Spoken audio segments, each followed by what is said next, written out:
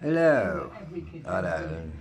I, I, I just uh, had a nice afternoon out up Coate Water. That was a nice change, and the weather was fucking lush.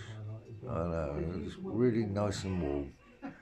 The only bit what let it down was a, a leaf hit me on the head, fell in front of me, and black spots on it. I don't remember leaves with black spots on them, but I looked up at the tree and all the leaves had black spots, so it was a case of oh, crap. Lake was minging as well, pretty green and algae up nowadays, because there's no boats driving around it and fucking shaking it up. Um,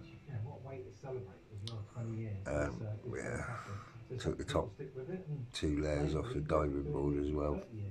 Uh, yeah, since I was a kid.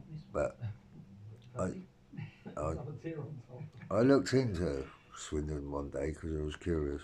No, it wasn't nothing to do with I'd, I'd left school and that. And I was working in a little shitty shop. Amazing. You can watch your favourite moments from throughout the years on the Wheel of And uh, my mate was working for a magazine and like goes, I don't know, I got to write a story. And I'm like, oh, fuck it. Well, let's go ghost hunting then. so, yeah, first stop, reference library. Ding dong.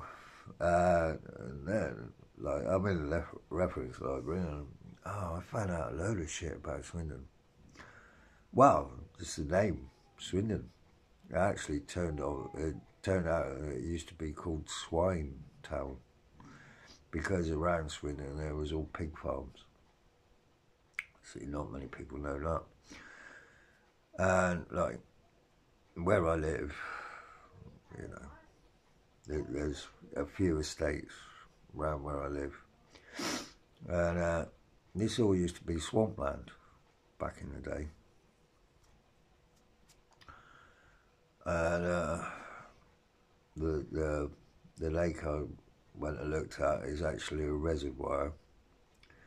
And what it was, they drained the fucking water out of the swamp where I live and put it in there. That's how that lake appeared. Must admit, I was quite shocked on the, on the way to the lake today. Uh, where there used to be a subway, there's now a new pond. So it's like, ooh, fucking hell, I didn't notice that before. Uh, but yeah, they've only done away with the subways this year, so yeah, because they kept on flooding anyway every time it rains. Uh, heavily anyway, but there are two things what this town is famous for: the railworks, Brunel Railworks, right, where they made steam trains back in the day. Actually, they still got a little tiny model steel steam train what kids can go on at Coate Water. I know. I was sat there with the dog and I kept on hearing this little whistle. Do do, you know. Ah, oh. I, I remember actually going on that train one day. I think I was at work and I had to go on it. Just, just, just because I was bored. Uh, but yeah, uh, I don't know. Pretty weird shit, really, when you think about it. But the only two fucking things this town is actually sort of famous for is the Brunel Trainworks, which actually uh, I actually went and had a look around just before they shut it down. They had an open day, and I was only a kid. I, I went in there and had a good nosy around. And I was quite interested in the engineering tools because obviously doing fucking train wheels and shit. The fucking shit they used to make them is quite big. You know, like the machinery is big. And uh, it's all gone now. But um, it's the railworks and the fucking magic roundabout because that was some weird experiment. And in a weird way, it does work. But sticking five roundabouts around a roundabout Now, what sort of stupid cunt would come up with an idea like that? Well, it weren't me, thank fuck. But it does sort of work. So that's pretty strange. But I do remember it, it wasn't there when I moved to Swindon. Mind you, the population of Swindon back then was about 60,000. Now you can stick another 200,000 on top of that. So things have changed a hell of a lot in the last fucking 50 odd years. But, see, I wouldn't know none of this shit unless I'd gone and had a look, been a nosy little cunt, and talked to old people. I remember like, I was doing community service, and uh, I had to push people around town in wheelchairs, and there was this lovely old couple, uh, lovely woman and an old old boy. He was about ninety old, and she was, ah, oh, she was in her late eighties, and like it was a really nice Sunday one day, and uh, I actually went round and I said, "Look, it's a beautiful day. I've got nothing to do. Do you want to go to the park?" You know, like.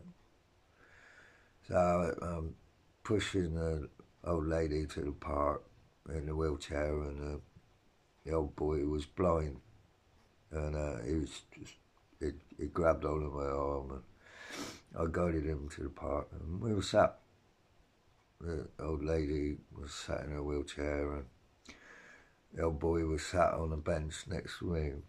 And uh, he was telling me stories back in the day when he worked in the rail works. You know, like, fucking hell, man.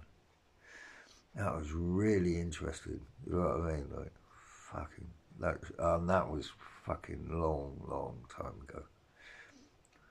I'm talking in the fucking 80s, this was. So it was a long time ago. But, oh, the stories he was telling me about the railway works, and, like them all riding to work on push bikes, you know, none of them had cars or fuck all. They'd all have to ride to work, but that, that's why the railway village is called the railway village, because that was usually the railway workers, uh, the train workers, you know, they were building trains for Brunel. Mm. That's why we got a big building, well, uh, uh, a building called the Brunel thing, and we got the Brunel Shopping Centre. And there's a reason because they were named after Brunel because he brought the railworks here because it was in the middle of the Great Western Railway line. See, all these little things what have been totally sort of forgotten. But they haven't been forgotten by me. So I thought I'd bung that in here because I'm living here. And I thought I'd give a little bit of history about this fucking town. What I know. I know, I don't know much but I know a little bit about the town I live in, which I wouldn't have found out. I didn't learn none of that shit at school. I'd left school when I found out, out all this shit. And it was only because I'm a nosy cunt and I was in the reference library for way too many hours being a nosy cunt looking for ghosts. I know. Did find some. We won't go into that though. Alright, I'm going to love and leave you anyway because I don't think you really want to know about this.